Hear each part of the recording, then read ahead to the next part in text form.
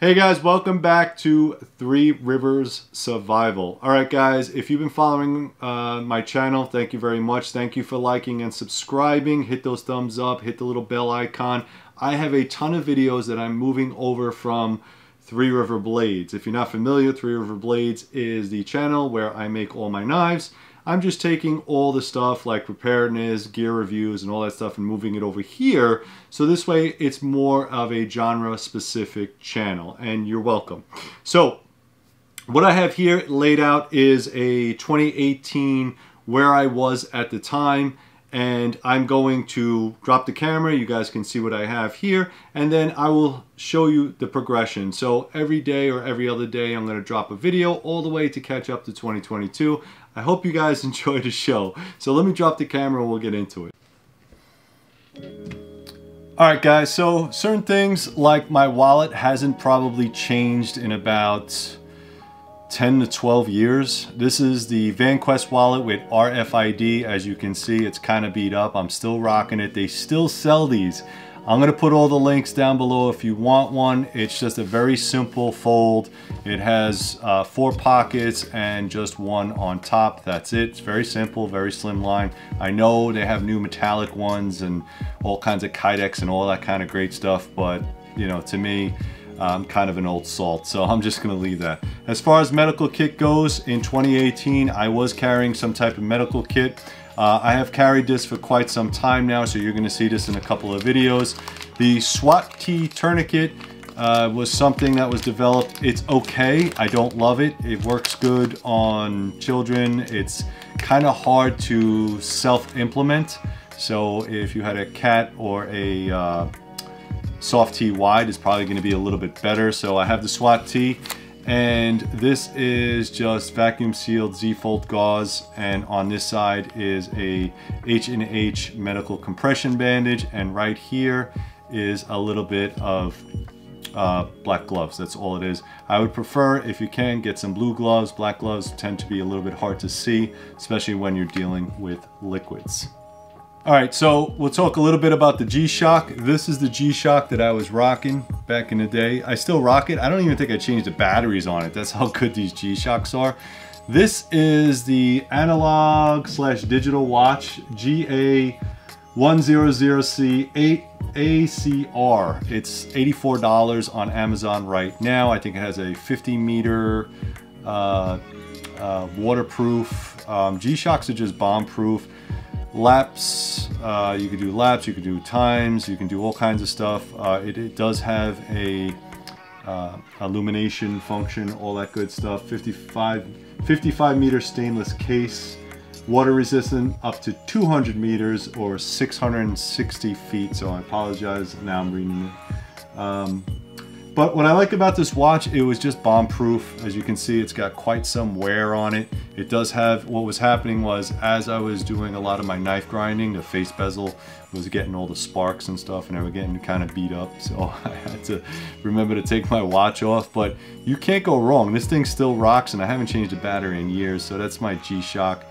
Big, big fan of them. And I'll probably, now that I see it, I'll probably just keep rocking it because it works.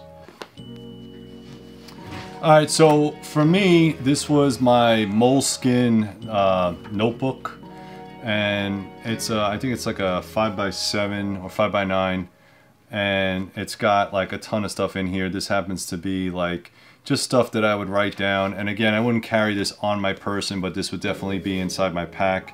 Uh, Moleskine right there, if you see that. Um, these are really excellent leather. I think it's leather bound, and the back it has like a little folder and they just write really well and I do like the fact that you can use a grid paper. I'm a big fan of the grid paper. I don't know, it just, for whatever reason, I like the grid paper and I've been rocking it for a while and as you can see, it's a little chipped up or ripped up, but I mean, can't go wrong with that. And then I don't have any specialty pens, I apologize, but again, like I said, we're going back 2018. All right guys, so for a folding knife, I was rocking the Resilience, I believe this is. Yeah, Spyderco Resilience 420. Uh, it's four. It's a 4.2 stainless steel blade. It is uh, 8CR MOV. This is not one of the high priced Spyderco's. Uh, right now you can pick this up for about $66 on Amazon. I'll drop the link down below. What I liked about this is it was a very, very good option for what it does. It's a very large blade or long blade, uh, really well made. It, it is a liner lock. It does have G10 scales, for position clip. So tip up, tip down, right or left carry. It does have jimping. What I really liked about Spyderco's is the fact that how thin they are. They sit inside the pocket very well, very nicely done. And again, this was not one of the top models, but um, as far as it goes, as far as the quality goes, I don't even think I sharpened this but once and that was about it. And again, this is like my EDC knife for just everyday tasks. Alright guys, as far as multi-tool goes, this is my Swiss Army knife Hercules. Um, I like this one. I also have the Swiss Camp and a whole bunch of other ones. But what I liked about this is it actually has a locking blade. So you can see right there, it locks into place and obviously I have used this quite a bit. This little lanyard I kind of did myself um, just to have some extra paracord and to identify it was mine. It also has pliers in there. I mean, they're small, but they are efficient. It also has in here a saw. All right, and I have used that saw. You can see that right there. Uh, this is a Phillips head screwdriver. Let's see what this one is. Oh, this one is a very, very sharp scissor. So you have to be careful with that one. Um, let's see, flathead screwdriver also with the bottle opener or church key if you will. And these are all fingernail opens. So and then here's another one. That's the can opener. And that's it. Oh wait. I have another long skinny long skinny one right there. So that's uh, that's quite a bit and there's some on the bottom this one also comes with the corkscrew and I believe this is the awl if I can get it out I don't think my fingernails are long enough. So, oh man, that thing is in there. okay, so I'm not gonna break a fingernail getting it out. Uh, and it also comes with, you know, the ubiquitous um, tweezers on one side. And I think this still has it. Yep, it still has the toothpick. That's still in there. All right, so all in all, this is about $115. Um, I like to switch up now and then. It doesn't always have to be a Leatherman, although I do like my Leathermans. I'm a big fan of Leatherman. Um, sometimes I like to switch things up and I would always just throw this either in a coat pocket or in my regular pocket and they also have a belt carry for this. This one has, I believe, 18 different functions and it's a 3.6 locking blade. So it's, uh, it's a pretty stout blade. I'm a big fan of it and for a pocket knife you really can't go wrong. Alright guys, for a fixed blade, um, this is what I was carrying. This is my Tops Cockpit Commander. If I can get it out. There you go. So that's one of the problems and we'll get into that in a second. Tops Cockpit Commander. Say that three times real quick. Give you an idea what that looks like. So this is actually really nice. Um, once you get your finger inside the hole, hey, um, it's not coming out all right so I like this as a martial blade I usually try to carry one type of fixed blade for either a martial blade or to take the place of one of these others and it has to be small and very convenient obviously this has the metal spring clip which is okay the Kydex sheath on here is horrendous because you really can't get a purchase on it. That's the problem is that it usually locks onto the handle, but because you can't get it, you have to use like a two finger method and then try to grab onto it. But this has a, I think two and a half inch blade, jimping on the top. It does have a nice finger hole so you can get your hand in there and I have extra large hands and it works really really well I would not mind having this for a self-defense option uh, I think this is uh, about 3 16th inch thick or yeah it's about 3 16th inch thick. Um, sharp blade it does have a top swedge which is not sharp but it, it, it does you know it has an edge on there. So if you wanted to you just need to touch it up and you can definitely put an edge on there. All right? But I guess you know for most states uh, double-sided knives in some states are a no-go, so that's why they don't do that. But the Cockpit Commander by Tops, definitely a really good EDC option for self-defense. I would just recommend getting a better sheath. So for my flashlight, I was rocking the uh, Surefire. This is the Surefire E2D Defender. Okay, this was like all the rage back in the day. As you can see, it definitely has a lot of wear on it. Um, there's not a lot that you can do. They're less configurable than they are nowadays. It does have the strike bezel ring in the front, as you can see there, and it does have a protected rear cap. I don't like the protected rear cap um, personally uh, but that I guess for accidental discharge it won't discharge. There's two modes on this. One is the 1000 mode, uh, 1000 lumen mode, and then if you take your finger off and hit it again, it is a 5 lumen mode. So there's only two modes that you can get on this flashlight. I'm a big fan of just having one mode highest lumens that I need and then that's it. Uh, however, you know, this was the technology back in the day and you cannot remove this clip. So the flashlight has to sit up in this configuration if you want to use that clip. But really thin, um, really nice. If you had to actually use it to uh, make strikes, you could. It only uses uh, the CR123 battery. So this is before we had all our nice rechargeable batteries. And again, this is an outstanding flashlight. And as you can see, it still stands the test of time, 1000 lumens and then five lumens. All right, so really cool. They are not cheap. This is about a $200 flashlight or 189 as we speak. So it's not cheap, but I'll put the links down below if you're still interested in that, guys. And uh, take a look at that. All right, next we're gonna talk about my Gascans. I have two sets of Gascans. This is my eye pro and I don't know if it's written on here but these should be ANSI rated or at least um, they are eye protection. So what I like to do I don't get the I just get regular dark. I don't get polarized. I don't get any of that stuff.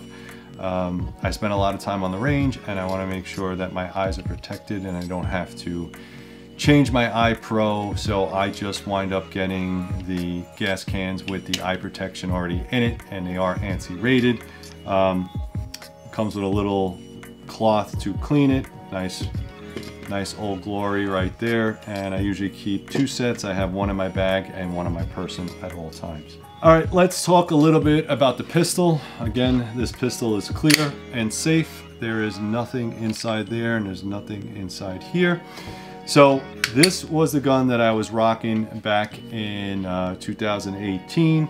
Um, I like it. It's an XD9. Uh, XD9 is made in Croatia and then Springfield took it over. It does have the really annoying um, backstrap safety. I don't like that, but if you don't press it fully, it will not fire.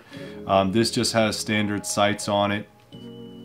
Easy to break down. It does have the dual magazine release. So if you're right-handed, left-handed, it works. Um, it is kind of weighty for what it is. There's a lot of metal in here. The only polymer is actually the underside. So it is a striker fired gun and it has a pretty decent, but like kind of, this is the heavy trigger version. So there's two versions. There's a regular trigger and the heavy trigger. This happens to be the heavy trigger version and you're looking at about at least 10 pounds. So again, I didn't really, wasn't really happy with the 10 pound trigger, so I kind of opted to change it. But this is a really nice gun and easy to carry. I like the looks, I like the feel. I just hate this piece right here. Um, ideally, it would come with the flush mount seven round capacity magazine, and then you can get the eight round magazine capacity. The magazines are made very, very well. I do like that they are slick. Um, they're not coated with anything. So the once you put them inside the gun, you can see that little piece actually, you can wrap your fingers around it. Like I said, I have extra large hands, so that works for me very, very well. And the ejection, it just shoots out. I mean, when you hit that mag release, it just, so it's just right across the table. So I never really had to worry about it. Here's a picture of it with the regular flush mount. And again, this is sort of how I would carry it. I can get almost two and a half fingers around it. And then if I wanted to switch out to a little bit more firepower, you know, the, the big old plus one. Again, nowadays it's not a problem anymore because we have uh, double stacks, single stacks, stacks and a half, that kind of thing. But back then this was the bomb, all right? So this is the XDS9 in 3.3. They also made a four inch uh, for this gun and I thought it was a pretty decent gun. So I went ahead and started rocking it for 2018. Uh, a couple extra mags here. Oh, I didn't. I don't have any ammunition in there, but I usually rock the uh, Speer Gold Dots 9 millimeter uh, plus P 124s or 147s if I can get them. So let's talk a little bit about mag pouches. This is the Winthrop mag pouch in leather. So at the time I wasn't making a lot of Kydex products and Kydex is, you know, it's been around for a while, but um, I like this one because it was a double mag pouch and it seems to fit. Also, I think the this was made more for uh, uh, 1911 magazines, so it kind of fits. And it was only like the 1.5 slot, and that actually worked out anyway. So it was actually okay with that. So as you can see right there. So a couple different holsters for the Springfield. This is Blade Tech's um, hard Kydex holster. They don't make this anymore. And unfortunately, they don't make this pistol anymore either. I think the Mod 2 or whatever, Springfield's up to the Hellcat by now. But what I liked about this is it, it did stick out. This is more of a competition holster and it would just fit inside there like that. Uh, pretty decent, but uh, if you needed a fast draw, you could just get a really nice fast draw out of it. Again, really nice and, and if you need a holster you can go to Three River Kydex I'll make you one. I have inside the waistband and outside the waistband holsters. But again this is a pretty decent design for Blade Tech also Galco made uh, these are called the stow and go not the tuck and go. Um, and they're just really a very nice soft piece of leather with um, some wire in here and what that allows you to do, there's no friction or anything like that, but it makes a very nice, comfortable piece to put inside the waistband. And this is pretty stout. It does have a decent clip on it. And again, it's just a inside the waistband holster. Again, if you really need a holster for um, a XDS Springfield, you just go to Three River Kydex and I'll make you one out of Kydex. All right, guys, if you like these videos, please like, subscribe, share, add some comments down below. Like I said, uh, I'm just gonna finish up with the EDC videos. I have a lot more stuff, a lot more stuff that I pulled over from the uh, Three River Blades. Go to Three River Blades, check out all the things I have on YouTube.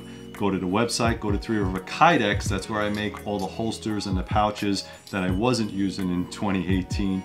And uh, Guys, thank you very much. Also check out all the links down below because I'm gonna have all this stuff on Amazon links and any little bit that you purchase kind of helps out the channel so thank you for that. You could also become a patreon member if you like and if you like discounts on knives or holsters go to threeriverblades.com scroll all the way down to the bottom first name last name and your email address. Thanks very much guys and as always stay safe